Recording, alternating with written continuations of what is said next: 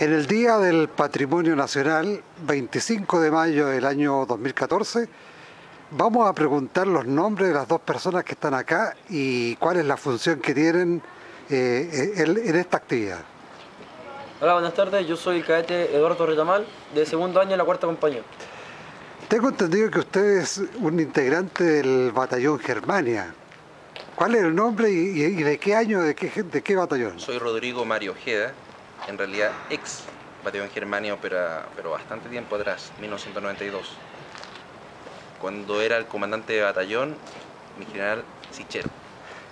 Y, era director de la escuela, eh, no sé si se acuerda, en aquel tiempo, 1992, de haber sido... No lo recuerdo. Zimmerman, el coronel Zimmerman. Podría ser. Podría ser. bueno, no importa, pero... Le, ¿eh? Comandante de sección era Edmundo Villarroel, de la familia Villarroel, Carmona. claro, Tambor Mayor me parece el, primo. Y bueno, él, aquel rubio de ojos celeste. Vamos a preguntarle al caete qué tarea tiene o, o tuvo en este, en este Día del Patrimonio Nacional. Yo en el Día del Patrimonio Cultural tuve la función y la tarea de explicarle a la gente que venía pasando por afuera de la oficina del Frente Servicio sobre la historia del buzón que hoy en día está un poco apreciado en nuestro país. Bueno, eh, este buzón eh, me imagino que lo trajeron de, Correos de Chile, ¿o no? Sí, del Museo de Correos de Chile. Del Museo, de Correos de Chile, que es una representación de lo que es, eran los buzones en nuestro país eh, en todo el siglo pasado, ¿o no? Claro, claro también, pero también habían buzones que eran cuadrados. ¿Ya? No está en este caso, pero tenemos el buzón con forma cilíndrica. ¿Era importante el, buzón eh, en la época de, las campañas, por ejemplo, cuando ustedes también, seguramente que el, batallón Germania fue a campaña en alguna parte con la Pichicuy, exacto. ¿Era importante, el, sería importante el buzón? Es que era el instrumento de acopio de todos los mensajes y cartas que era el medio de comunicación. Entonces, si no hubiese existido, ¿dónde dejamos aquellos elementos que me permitirían comunicarme con alguna persona a distancia? Claro, ahora está todo cambiado, puesto que las comunicaciones y la globalización eh, ha, prescindido, ha permitido prescindir de, ellos. De forma nostálgica solamente lo vemos. Porque claro, solamente tenemos el internet en forma automática, estamos ya en comunicación con otra parte del mundo. Sin embargo, estos elementos, eh, que aún están tanto en la memoria como en el sentimiento de uno, nos permiten, por una parte, evocar y remontarnos a, los inicios y a la parte ancestral de las comunicaciones. En la, en la parte superior de, este buzón hay un escrito eh, que usted como eh, guía eh, le estaba explicando a, los, em, a las personas que han pasado por acá. ¿Quién es la autora de este o el autor de este escrito? nuestra profesional que trabaja en la escuela, doña Teresa. Doña Teresa Varas y ella escribió acerca de lo que representaba este buzón. Escribió sobre lo que el buzón diría, lo que el buzón dice y piensa. Lo que está pensando en el día de hoy. Claro.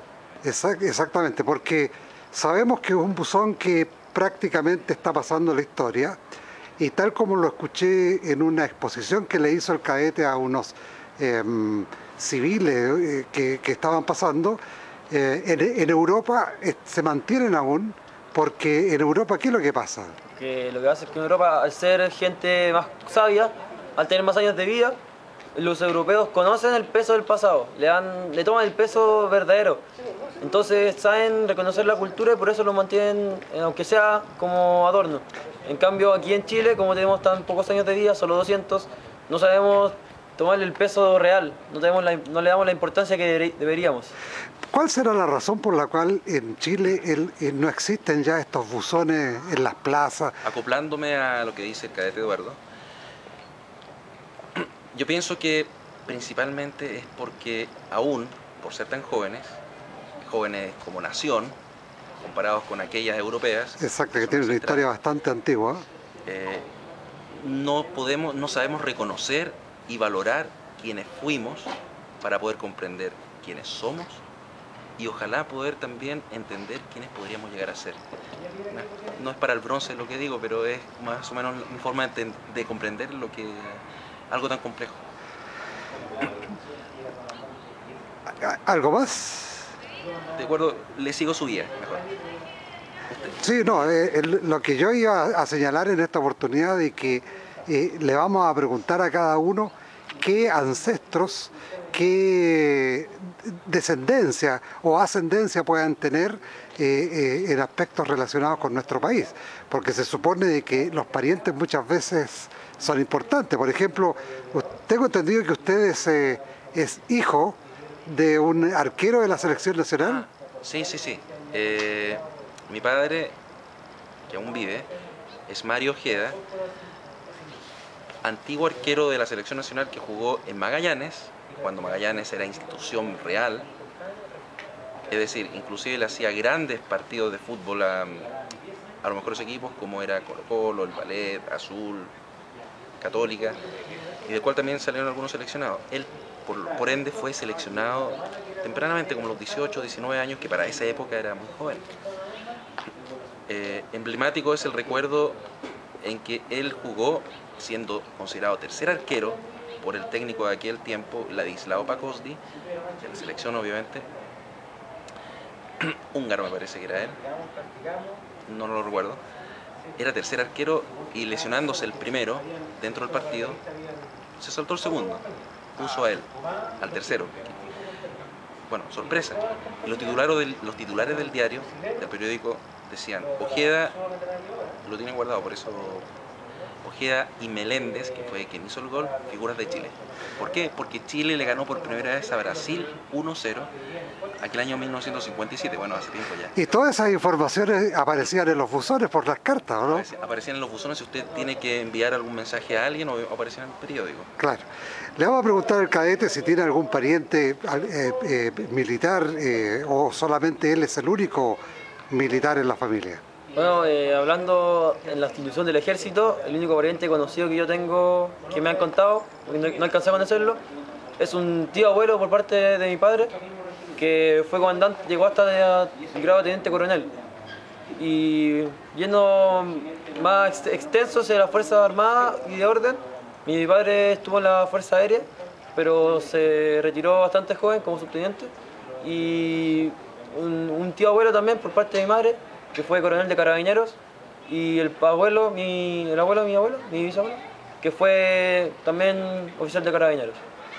Bueno, les agradecemos a los dos eh, la, la oportunidad que nos dieron de, de- hacer este- esta entrevista y le vamos a dar la, la oportunidad para que se despidan y manden un mensaje a alguien en específico, no sabemos a quién podría ser, a lo mejor usted, algunos amigos, otros del ba- batallón Germania, no sé. No, eh, mandaría, como acaba de mencionar usted, mandaría un mensaje simplemente a la dirección de la escuela, puesto que al experimentar cosas, testimonios como el del buzón, no me refiero a testimonios como el del cadete, que entre paréntesis lo, lo que me explicó lo hizo muy bien, lo felicito. Pero la presencia de, este buzón es un ejemplo para demostrarme, como visita a la escuela, que la forma de educar o de presentar la escuela, bueno, por una parte, a los cadetes y a los alumnos en general de primero a cuarto, y a la gente externa, es holística. Así quedo tranquilo porque yo no sabía.